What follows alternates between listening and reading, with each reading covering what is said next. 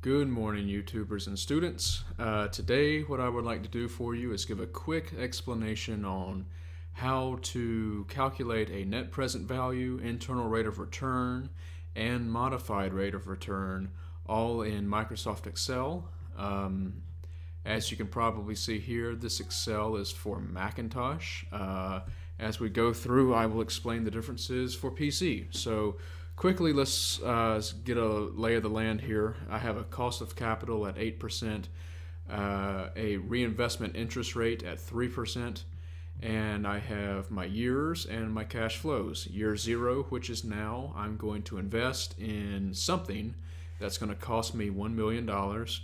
And then my future cash flows here, starting at 50,000, 100, 200, etc., all the way down to year 10 at 500,000.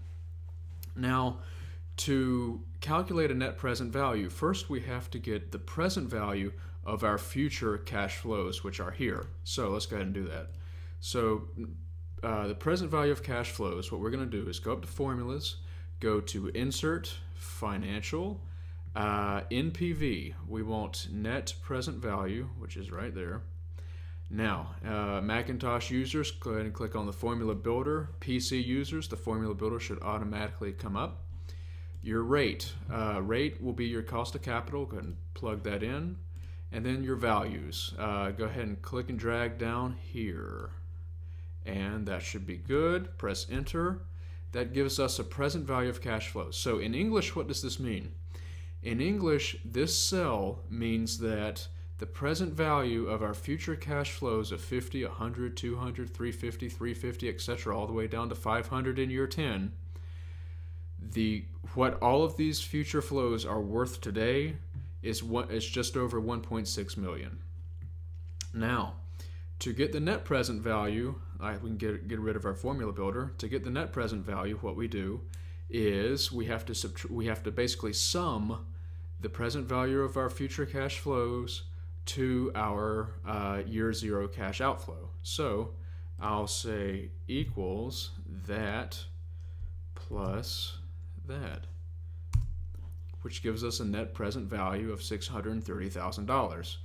Um, a, a lot of the times the acceptance criteria would be if the net present value is above zero, go ahead and accept the project we would most certainly accept the project. Um, in English, what does this mean? In English, this means with this project, given the uh, initial cash outlay and the future flows here, in present day dollars, this is going to result in a $630,000 increase um, in value to me. Now, let's move on to internal rate of return. Internal rate of return, same type thing. Go to Insert, Financial, IRR, where are you? There you go. And open up the formula builder, values. Now for the internal rate of return, we want to capture that that initial cash outlay as well, as, as, as well as all the all the future cash flows. So click and drag all of the cash flows, B5 through B15, and hit enter. It gives us an internal rate of return of 17.5%. Um, now, our, our judgment criteria here is basically if if the internal rate of return is greater than our cost of capital, which it is, we are to accept the project. So that's also a good acceptance criteria. However, one caveat to the internal rate of return is a serious one. It's it's the caveat of the future cash flows. They have to be in they have to be reinvested at the same interest rate as the project. So these flows will are to be invested at the 17.5%. In the real world, this may not be entirely realistic. So, thanks to the wonders of uh, wonderful mathematicians of the 18th century, we have the modified internal rate of return, the MIRR. So let's take a look at here. MIRR, uh, insert financial, MIRR, okay, formula builder.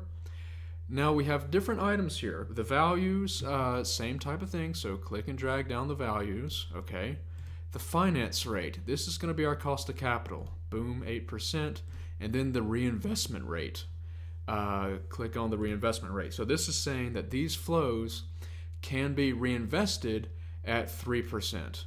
Um, and again, since we hard, uh, I'm sorry, since we uh, entered in the cell number, we can play with this number as we see fit. So once we have that entered, go ahead and hit enter. Now this gives us an a modified internal rate of return of slightly less than 17.5%. This is it's just under 11.5%. So what does this mean? This means that these future cash flows, if they're reinvested at 3% over the life of the project, I will realize an 11.5% uh, rate of return for this project. Um, and again, we can we can play with this reinvestment rate of return. We'd have five percent. That'll bump it up to a little twelve point two. So and and you know we can play with the cash flows as well. Um, thank you so much for watching, and stay tuned for for more videos. Thank you.